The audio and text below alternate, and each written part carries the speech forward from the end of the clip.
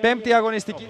Ο γηπεδούχος Πανηλιακός στις τρεις πρώτες αγωνιστικές ε, μετρούσε εισάριθμες νίκες. Η ομάδα του Πέτρου Δημητρίου γνώρισε την ήττα με 2-0 στο Ελπάσο από την ε, Καλιθέα και θέλει φυσικά να επιστρέψει στις επιτυχίες. Είναι στην τέταρτη θέση με 9 βαθμούς, ενώ στην έκτη θέση με 7 βαθμούς είναι ο ΑΟ Χανιά.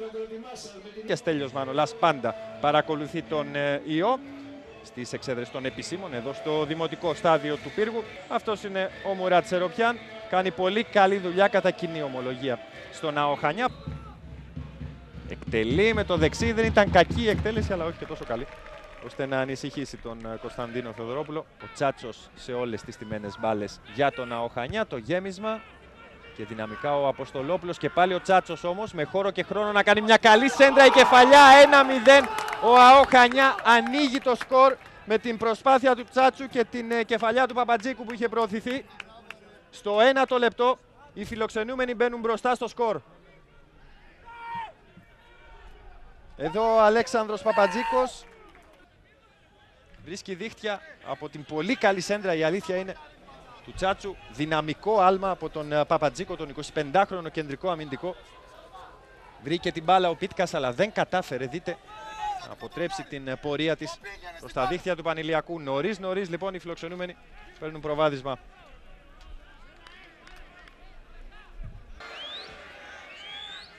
Χαρακτηριστικό αυτό το replay, ευχαριστούμε πολύ το σκηνοθέτη μας για το πόσο μπορεί να δυσκολέψει τα πράγματα για τους ε, ποδοσφαιριστές ο αγωνιστικός χώρος. Το παίζει για τον Μιλίεβιτς. Τον Μανολά. Πολύ πιο χαμηλό κέντρο βάρου. Το πλεονέκτημα το σουτ με το αριστερό. Η μπάλα περνά περίπου δύο μέτρα μακριά από το αριστερό δοκάρι του Θοδωρόπουλου. Είναι πάντως αυτή μια τελική προσπάθεια. Μινικέ αυτός ψηλά θέλει να γυρίσει. Δεν προλαβαίνει. Ο Μανολάς μακριά. Υποδοχή μπάλας από τον Λουκίνα για τον Πάγκαλο. Το κοντρόλ είναι γρήγορος όμως, πιο γρήγορος από τον Καλαϊτζίδη, τον οποίο τον αφήνει πίσω του. Γυρίζει για τον Λουκίνα. Θα προλάβει τελευταία στιγμή εξαιρετική η επέμβαση από τον Νάστο εδώ. Παίζεται ο Διαμαντόπουλος. Και πρώτος στην μπάλα ο Πίγκλα. Ο Μπράβο στο σούτ με το αριστερό δεν είναι κακό. Μπλοκάρει ο Θεοδωρόπουλος. Μιλίεβιτς κατάφερε να περάσει, κρατά, θα κάνει και το σούτ με το αριστερό, καλό. Αποκρούει και στη συνέχεια μπλοκάρει ο Θεοδωρόπουλος.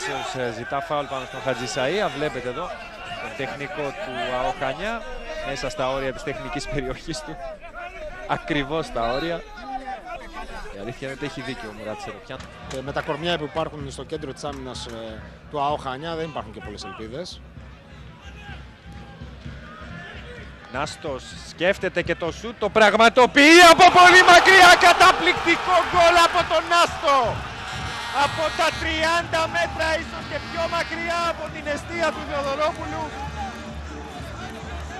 Πυροβολή και στέλνει την μπάλα στα δίχτυα του Αόχανια. Ένα από τα καλύτερα γκολ της φετινής σεζόν.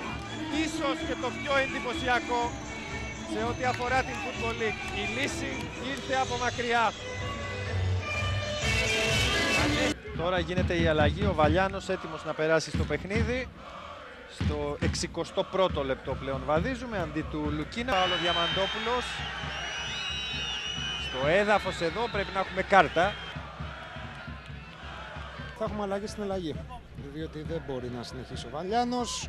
Ο Βασιλόγιαννης λοιπόν στη θέση του ποδοσφαιριστή που μπήκε πριν λίγα λεπτά στον αγωνιστικό χώρο. Ε, βέβαια συνεχίζονται εντολές από τον Πέτρο Δημητρίου. Η ομάδα να έχει αυτές τις γραμμές πάρα πολύ κοντά. Για να δούμε τη φάση. για τον Πάγκαλο. Βάζει την μπάλα μπροστά του με το αριστερό. Αρχηγός του Αοχανιά ψηλά. Στο 71ο λεπτό ήταν εξαιρετική προσπάθεια του Μπουντόπουλου και η μεταβίβαση για τον Πάγκαλο. Παρά το γεγονός ότι απομένουν περίπου 20 λεπτά, αν συνυπολογίσουμε και τις καθυστερήσεις, ενώ εδώ είναι offside ο Πάγκαλος. Τουλάχιστον για την ομάδα του, τον Πανηλιακό. Εδώ δεν υπήρχε offside, καθώς κινήθηκε στο όριο ο Πάγκαλος. Είχε κάνει έγκαιρα την έξοδο ο Πίτκας. Η πίεση ψηλά αποφέρει και πάλι καρπούς για τα Χανιά με τον Βασιλό Γιάννη. Είναι καλός τεχνίτης, μπαίνει μέσα στην περιοχή. Θέλει να γυρίσει με το δεξί ο Βασιλόγιαννη κόρνερ από την επέμβαση του Πίτκα. Δεν είμαι απολύτως βέβαιος ότι ο Βασιλόγιαννης ήθελε να εκτελέσει και όχι να γυρίσει την μπάλα προς κάποιο συμπέκτη. Τελέστηκε το πλάγιο, ο Λιώσης πηγαίνει για την πρώτη κεφαλιά, το γυριστό από τον ε, Σουλελέ. Προσφέρει θέαμα με την είσοδό του στον αγωνιστικό χώρο. Λίγο δεξιά, τέταρτος. Πανηλιακός και Αοχανιά ισοπαλή 1-1. Ο Πάγκαλος μέσα στην περιοχή. Φυσικά με την μπάλα στο αριστερό εκτελεί και τον σταματά εντυπωσιακά ο Πίτκας.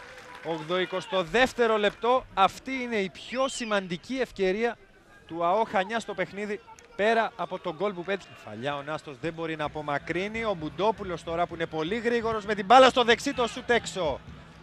Να που ο ΑΟ Χανιάς αυτά τα τελευταία λεπτά απειλεί. Το κάνει και τώρα με τον Μπουντόπουλο. Ο αρχηγός του πάντως έχει παράπονα καθώς περίμενε. Την πλευρά του ο Πανηλιακός με τον Σουλελέ τώρα για τον Μιλίεβιτς. Μεγάλη ευκαιρία για τους γηπεδούχους χαμένη. Πλασέ πάνω στον Θεοδωρόπουλο από τον Μιλίεβιτς. Δεν το πιστεύει το ίδιος. Αυτό κάνει εν τέλει.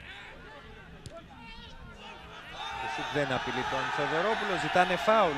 Πιο ορθολογικό το παιχνίδι του ΑΟ Χανιά Μπουντόπουλος. Είναι ανοιχτή εδώ η άμυνα του Πανηλιακού. Το σουτ από τον Μπουντόπουλο.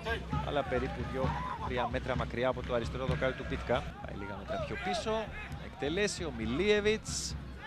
Και ανέβει ψηλά και ο Λίτσος περνά την μπάλα με το αριστερό μέσα από την πολυκοσμία.